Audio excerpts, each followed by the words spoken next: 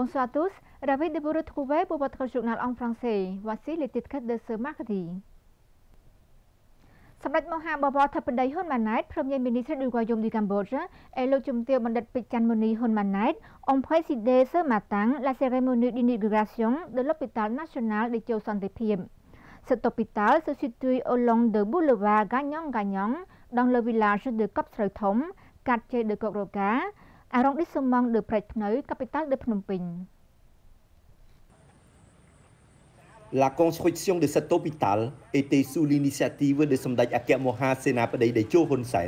ancien premier ministre du Royaume du Cambodge, au moment où le Cambodge, comme le monde entier, avait infecté par le Covid-19 et que le Cambodge ne disposait pas suffisamment d'hôpitaux pour soigner les patients du Covid-19.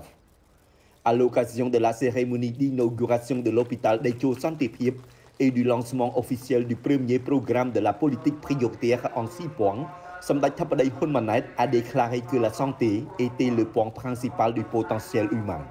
Samdaj Thapadai Hun Manet a souligné que la santé était un facteur déterminant de la productivité et des capacités humaines. La santé est un déterminant de la productivité humaine. Lorsque les gens ont des problèmes de santé, ce ne sont que des dépenses. C'est pourquoi continuer à investir dans le secteur de la santé reste une priorité clé pour le gouvernement royal a expliqué le Premier ministre. Sur cette base, Samdaj Thapadai a dit que la création de l'hôpital national de Cho Santé visait à résoudre les prochains problèmes et à répondre aux besoins de la population parce que les moyens de substance et la santé des populations étaient une question vitale. Cet hôpital nouvellement inauguré n'est pas seulement destiné aux habitants de Phnom Penh, mais également à ceux de tout le pays qui ont besoin de soins ici, a ajouté Samdaj Thapadai, poursuivant que les ressources humaines sont importantes pour la nation. Les ressources humaines sont les facteurs qui permettent à notre nation de se développer durablement et les principaux facteurs sont la forme physique et la santé. S'il y a des capacités, il y a des opportunités, mais si la santé est mauvaise, nous ne pouvons rien faire, a dit Samdaj Thapadai Hun Manet le chef du gouvernement royal cambodgien a encouragé les institutions publiques et le secteur privé à travailler ensemble pour les intérêts du peuple sous le slogan Penser ensemble, agir ensemble et prendre la responsabilité envers les populations. L'État et le secteur privé ne devraient avoir qu'un seul objectif, celui d'accorder de meilleurs services aux patients, de les soigner et d'assurer leur santé et leur sécurité a souligné le chef du gouvernement royal. A noté que l'hôpital national de Cho Santé a été construit sur plus de 7 hectares avec un total de près de 10 000 lits. Actuellement, cet hôpital est le plus grand du pays. Son Excellence Wang Sot, deuxième vice-président de l'Assemblée nationale, a accordé une audience à Son Excellence Wang Minyu, vice-président de la consultation politique du peuple chinois, de la province de Liaoning et à sa délégation pour une visite de courtoisie et discuter du travail. Le même jour, son Excellence Wang Sot a également reçu une visite de courtoisie son Excellence Nguyen Huy Tang, ambassadeur de la République socialiste du Vietnam auprès du Royaume du Cambodge. Au cours de la réunion, son Excellence Wang Sot, deuxième vice-président de l'Assemblée nationale, a accueilli chaleureusement son Excellence Wang Minyu et la délégation en visite au Cambodge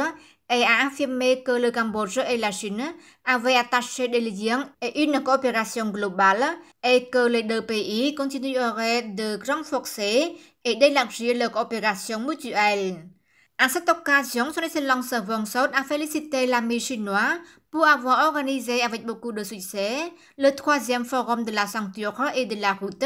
avec la participation de nombreux pays et organisations membres dont Samdech Mohamad Thapadei Hun Manet était également participé. Son Excellence Wang Sot a remercié les amis chinois qui ont toujours soutenu le Cambodge dans le développement de nombreuses infrastructures importantes dans le cadre de l'initiative de la ceinture et de la route qui constitue l'épine dorsale du développement économique et social au Cambodge. Concernant les législatures des deux pays, son Excellence le deuxième vice-président de l'Assemblée nationale a également souligné que les deux institutions ont de bonnes relations de coopération et continuer à travailler ensemble pour promouvoir une meilleure coopération dans l'avenir. Le même jour, son Excellence Wang Sou, deuxième vice-président de l'Assemblée nationale, a reçu son Excellence Nguyen Huy Tang, ambassadeur de la République socialiste du Vietnam auprès du Royaume du Cambodge, et sa délégation pour une visite de courtoisie et discuter du travail. Lors de la rencontre, son Excellence Wang Sou a exprimé sa satisfaction à l'égard des deux pays, le Cambodge et le Vietnam, qui sont également des pays voisins et entretiennent des relations historiques traditionnelles. Jusqu'à présent, les deux pays ont eu une meilleure coopération dans tous les domaines. Son Excellence le deuxième vice-président de l'Assemblée nationale a exprimé ses satisfactions et sa fierté aux deux pays pour leurs nombreuses réalisations, notamment la réalisation de la démarcation de la frontière entre les deux pays, qui est d'environ 84%, ce qui constitue une réalisation historique pour la prochaine génération et espère que les deux pays parviendront bientôt à un accord sur la frontière restante. À cette occasion, son Excellence Wong Sot a également remercié les amis vietnamiens qui ont toujours soutenu le Cambodge depuis sa contribution à la paix et au développement jusqu'à aujourd'hui. Son Excellence l'ambassadeur Nguyen Huy Tang a pour sa part demandé à l'Assemblée nationale du Cambodge de changer des visites entre les dirigeants des deux législatures, de renforcer la coopération et d'établir de nouveaux mécanismes. Il a également demandé à l'Assemblée nationale du Cambodge de promouvoir la mise en œuvre des accords conclus entre les deux gouvernements dans le passé et de poursuivre la coopération en matière d'éducation afin que la jeune génération puisse comprendre la relation entre les deux pays. Son Excellence Wong Sot a soutenu et accepté les remarques de l'ambassadeur et a exprimé son soutien aux deux gouvernements dans la connexion des autoroutes et des chemins de fer des deux pays récemment initiée par son Premier ministre Mohamed Thappadei Honmanait. Son Excellence Kadet, vice-premier ministre, ministre de la Justice, a présidé le 23 octobre 2023 la cérémonie d'investiture de la procureure du tribunal provincial de